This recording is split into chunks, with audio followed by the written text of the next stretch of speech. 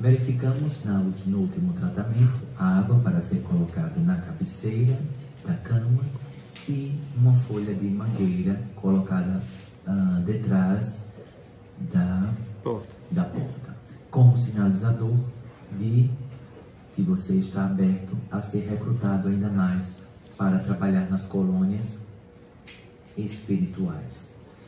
Neste momento, vou pedir que vocês retirem, quando possível, quando assim terminar o tratamento, essas folhas de, de mangueira e possibilite, se for é, oportuno, se for de uma grandiosidade, para que seja colocado não mais detrás da porta, vai ser colocado detrás das suas portas. Pode ser colocado no canto, né, detrás de porta. Sim. Um punhado de sal grosso. Do lado de dentro, né? Pega um punhado de sal grosso. Um punhado é. Pega assim, dessa Sim. forma, não é? E coloca detrás da porta de entrada. Se a sua casa tiver duas entradas, detrás das duas entradas, não é? A não ser que uma entrada não tenha movimento de pessoas, mas importante deixar nas duas entradas. Pega um punhado de sal grosso e deixa detrás das suas portas de entrada da sua residência. E deixa esse mesmo punhado até o próximo tratamento.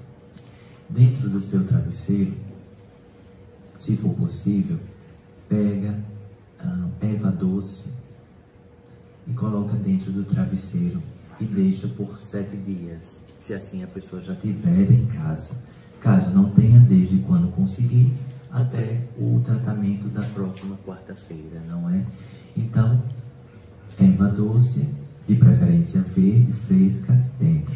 Quem não tiver, já sei que vão me perguntar se pode aquele sachê artificial, não é?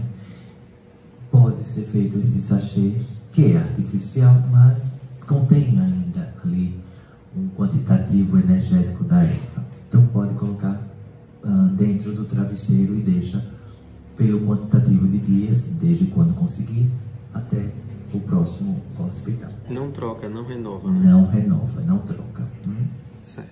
Então, um punhado de sal grosso detrás das portas de entrada e erva doce dentro do travesseiro.